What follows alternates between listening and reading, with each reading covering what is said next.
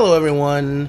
Okay, so today we're going to go ahead and take a look at my historic zombie deck. Um, I think most people probably expected zombie tribal to be viable, and it is actually in a multitude of different ways. Uh, this is literally just one possible take on the build, and it's kind of a weird one, but it does all right overall. Um, so let's just go ahead and jump right into it. Uh, first, we have probably one of the more obvious staples, which is Champion of the Perished. Uh, whenever a zombie ETBs, um, you put a plus one plus one counter on it. So it basically is just an early game beat stick, but it's great for uh, being a magnet for target removal because people get scared of it pretty quickly. Uh, next is Shambling Ghast, which is does a lot more work than you think. Um, when it dies, it can either give a target creature minus one, minus one until end of turn, which you can use sometimes to just kill a creature, um, or it creates a treasure token, which helps you ramp really fast. So, another really good one drop. Uh, moving into the two drop slot, we got two copies of Feed the Swarm. I would love to get this up to three, but I don't know what to cut for it. but it allows you to destroy a creature or enchantment, but you lose life equal to that permanent's mana value. Um, we have three copies of Tainted Adversary, a card I'm kind of iffy on. Um, you can play it in the early game uh, as a 2-3 with Death Touch. You can play it in a late game and get some zombies and make it a slightly bigger creature with Death Touch. Um, but there's zombies with Decayed, which I really don't like the Decayed mechanic super much, uh, or very much. Because, I don't know, getting one use out of zombies seems like it sucks. It would be great if you could find a way to make this a viable card for anything that involves like sacrificing or just having your creatures die. But I mean, outside of that, it doesn't, it's not as helpful as you might think. Next, we have four copies of Undead Augur, because whenever it or another zombie you control dies, you draw a card and lose a life. Now, on that, I want to comment how one serious problem with this particular build is I don't have any life gain, but I do have a lot of ways to utilize life as a resource. So you have to get pretty solid a pretty solid start in order to get moved this build because uh, if you lose too much life then you effectively can't do certain things with this build. Um, next we have Bladestitched Skaab which is just a really basic zombie lord. It's a 2-3 on its own but it gives other zombies plus 1 plus O. Um, this is a brand new card to this build and I just replaced another card with it. Um, Visionary, Visionary Stitcher. I only just barely got a few copies of this. But it gives all your zombies flying, and then you can sacrifice another non-token creature and create an XX blue zombie creature token where X is the sacrifice creature's toughness. So if somebody is about to board wipe or just target removal a specific one, or let's say you have Undead Augur out and you just want to get some draw, you can create a new zombie um, to cover the loss of the other one just by sacrificing it and tapping this. Now, naturally, uh, since Geralf is not himself a zombie, he pretty much only becomes a utilization card, but I still think he has the potential to do super well, even if I haven't seen him in action yet. Next, we have four copies of Lord of the Accursed because it gives all zombies plus one plus one.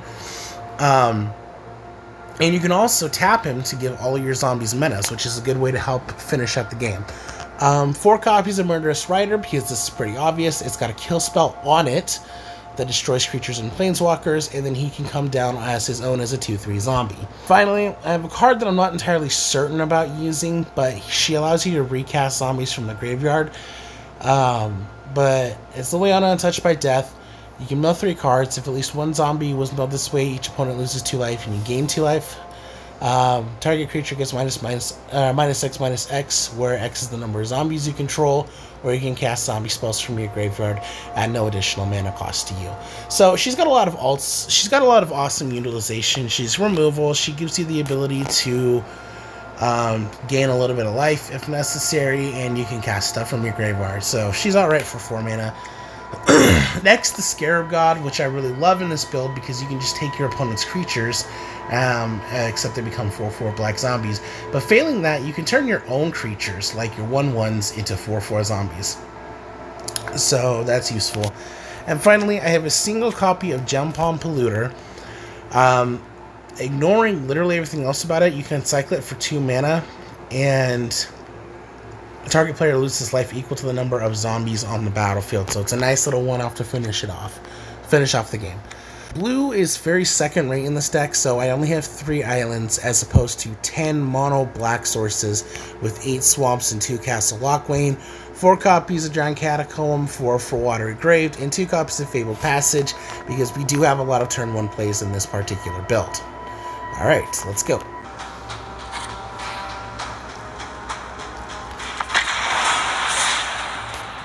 Alright. Let's see how we do. I haven't played this particular deck in a while, and I haven't got to use Geralf like I said earlier, so it'll be a bit of a toss-up as to how this goes. But it looks like we actually have a pretty good curve with this first hand, so let's go ahead and see how this uh, plays out. I think it's going to be turn 1 Shambling Ghast, possibly turn 2 Advisory, although our adversary, although I'm leaning more towards Augur.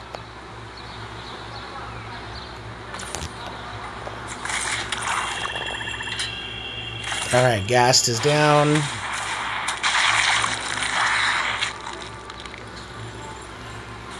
And opponent's got nothing off the bat.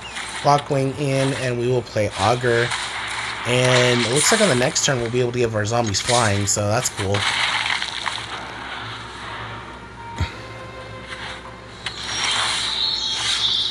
Or better yet, let's just give them pumps. That just kind of seems like a better option here. I mean, it's not like we can't play Geralf next turn.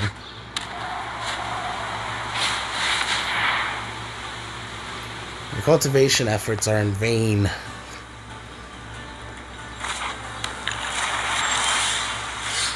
I wonder what they're playing where they're more focused on snowlands than anything else.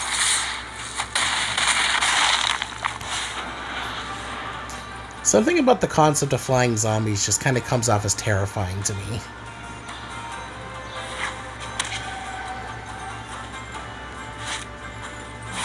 Exile target permanents. What are you going to target? It's going to be three or greater, so it's going to be Lord or Geralf. Geralf. I don't know if that was a smart choice there. Um, let's see. What's next? Non creature spells. What's next is my opponent quits. Okay. I had him down board as it was. So, yeah, stalling was stupid. Alright, let's go ahead and claim that prize. Got my volume adjusted. Let's go for the next game.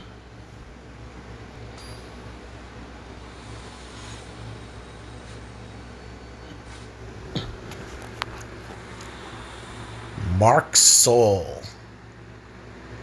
The C and a K. Um, I don't love this hand, but the fact that the two Blade Stitchers can work off of each other is fine. So we'll go ahead and go with it. Oh no, not a Phoenix deck. Bah. Whatever.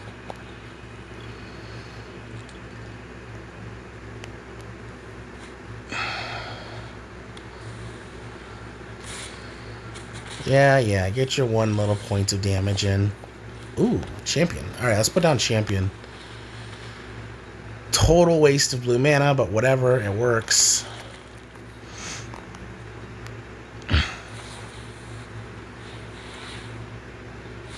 Well, um, better the removal goes to that than anything else in my hand. Alright, Bladestitched Skaab. Watch, it's gonna burn it somehow. Nope. Just gonna play Opt. And Surveil.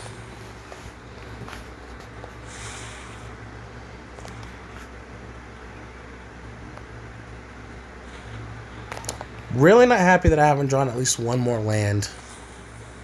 Yep, there it is. Boom. Oh, it only did two damage. You're gonna have to do, a, do another spell.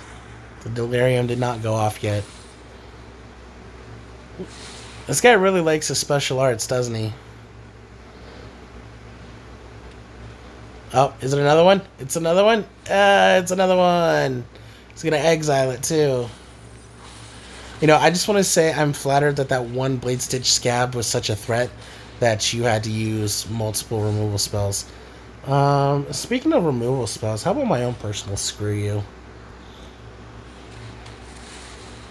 Yeah, eat that, jerk. I'm super far behind on mana though, so this sucks. Oh, it's a Phoenix. See, I knew this was a Phoenix deck. I don't I don't see us winning this one. Yeah, we're just barely getting a watery grave, and I'm probably just gonna have to have it enter tapped. I would have to gain an overwhelming advantage really fast with little to no interaction from my opponent. Oh, yeah, that right there just seals the deal. That's oof. One of these days I should make a Phoenix deck.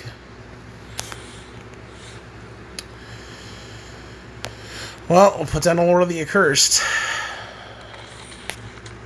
Um, yeah. Yeah, good game indeed.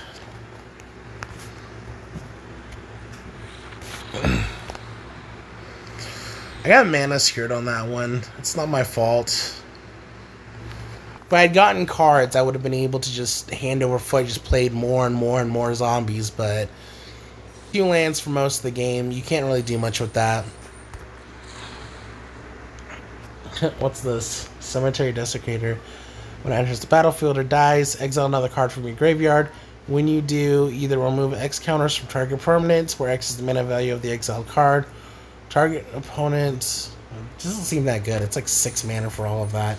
Alright, let's try another game.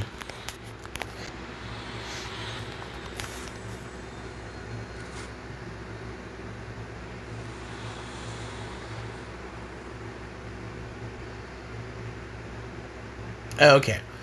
So turn one swamp, turn two drowned catacombs. We have a few options. We have we have ways to make this work. At the very least, we don't start off with just two lands. We have removal in hand. We have tainted adversary as a turn to play. Um, we have access to blue and black, so this should be fine.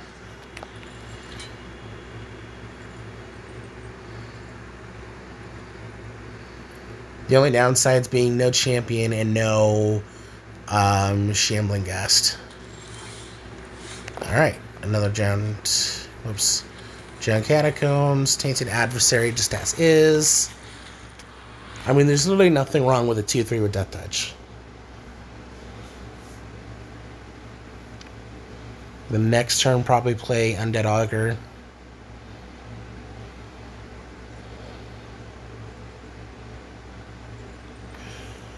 Let's see what our opponent does.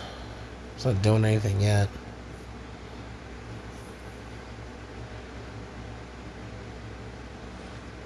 Okay, another snow forest. It's elves! Of course it is. Alright, well I don't want more lands, so we'll go ahead and put that down. Put down Undead Augur.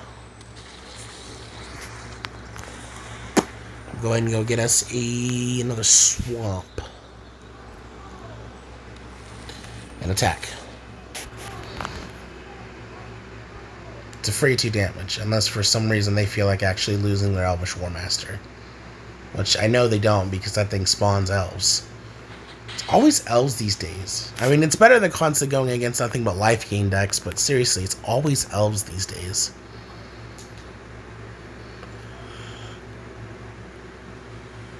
Blah. Bah, bah, bah, bah, bah. What are they gonna do? See, Elves is unfortunately a deck that overwhelms really fast unless you shut it down. Oh, dude, I had Feed the Swarm on the hand. I should have just killed it. I'm dumb. Well, they might actually play something that's worse than an Elvish Warmaster. I think this one just spawns warrior tokens. Yeah, Elf Warriors. Yep. And it only happens once each turn. So there are better options, there are worse options. Chancellor. Yep, there we go. That's worth killing. That's way more problematic. no blocks. Uh, put down another swamp. Put down an undead augur. Put down feed the swarm. Kill the chancellor. Worth it.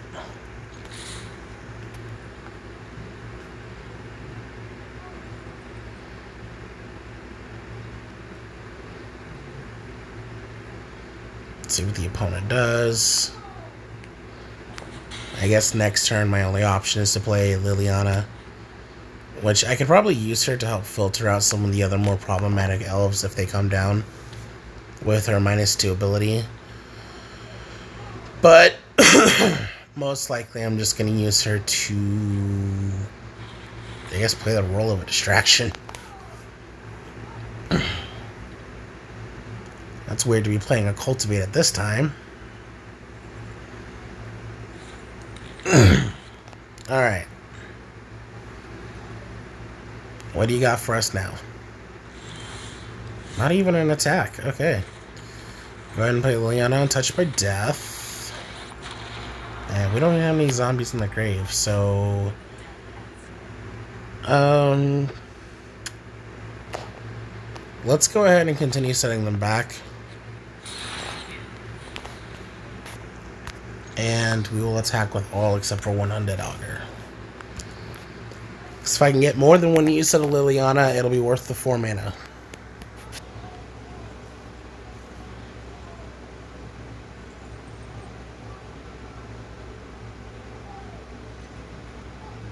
This might be the most aggressively I've played against an elf deck ever.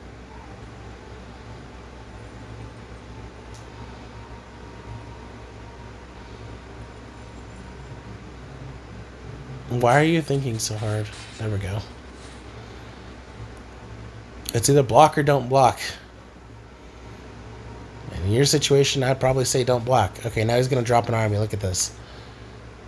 Yeah, there's one. Uh, wait, what? Just the 5-4? This doesn't seem like the time to be playing that conservatively. Alright, I'll play the Shambling Ghast. Um, and we'll go ahead and do the mill three cards. Oh, we got one zombie in there, so that helps. Um, obviously, we don't attack.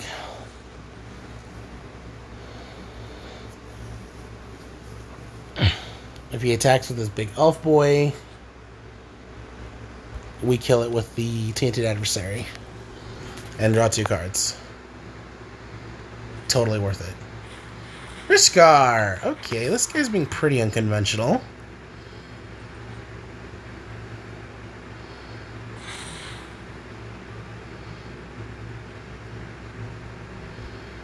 Some of the weirder cards I've seen in an elf deck. Okay, that's that's a pretty good play right there. I can respect that. He does not swing though. Alright, well, let's go ahead and play Lord of the Accursed. There's nothing in the graveyard that I can reanimate or that's worth a reanimation, so we'll just go ahead and mill three. One, two, and three. And no attacks. I think I want to wait for a better opportunity.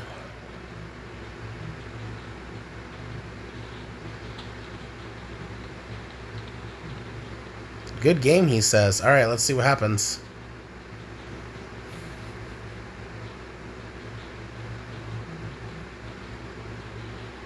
Can Rishkar pump everything? No.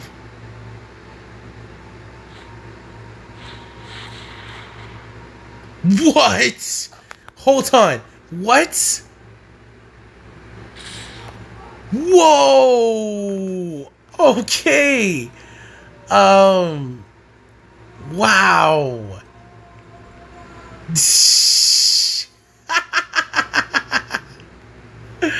I'm just going to accept this fate. That was awesome. That was single-handedly one of the coolest plays I've ever seen in my life. What was that exponential growth? This guy just hit me with 48 points of damage off of one creature. Alright, well, um... That's two losses and a win, which is pretty disappointing for this channel. Let's see what time we got. We only got 20 months. So let's go ahead and do one more round and see if we can't balance it out or if I'm just going to have to uh, admit that my zombie build sucks. I mean, I could have won off of that game if not for that sudden boom shakalaka, but wow. That was cool. I was I, I can't even be mad about that. Okay, yeah, definitely them all that. This is keepable, except uh, we will get rid of the gempalm polluter. It's a it's a nice card. It's a nice thought, as I like to put it. Um, but you know, we got better options. So I think this one's pretty clear cut. Swamp into champion. On the following turn, play Shambling Ghast, crack the Fabled Passage, and probably go get an island so we can play the Bladestitched Skaab. Yep, this is pretty much exactly how I expected this to go.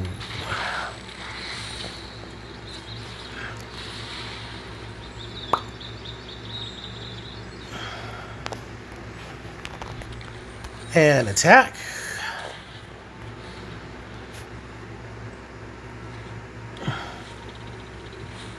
Nah, spell slingers. Always a fun one. Another champion of the perished. That's probably the better play.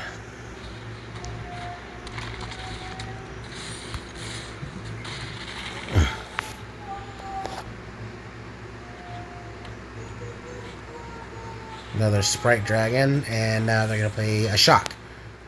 No Shock? No Opt? Nothing? No? Okay. Don't see that every day. Alright, Bladestitched Skaab. Let's just go ahead and keep beating each other up.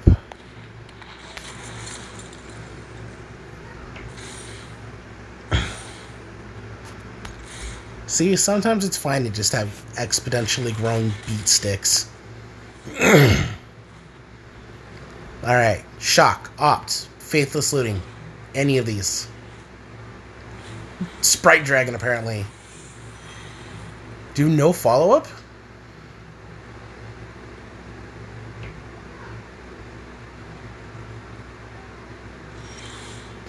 Okay, I guess I win.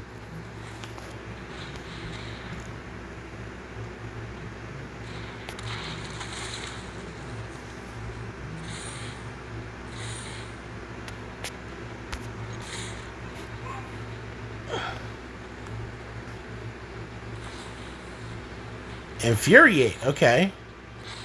That's something. Yeah, take out the big one. Take that out too. There you go. Good stall method. I'm still winning, but whatever.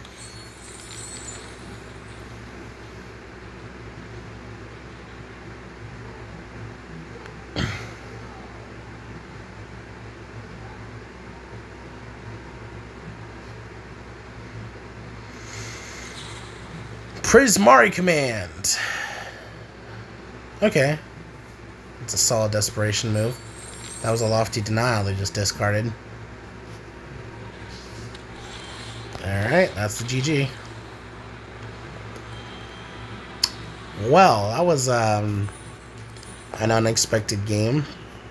But hey, won with two mana. That was pretty sweet on its own. Alright, well that wraps it up for this particular video. We might explore another zombie-themed deck later on, especially since I have plenty of zombie-based stuff now. Um, in the meantime, thanks for watching and have a great rest of the day.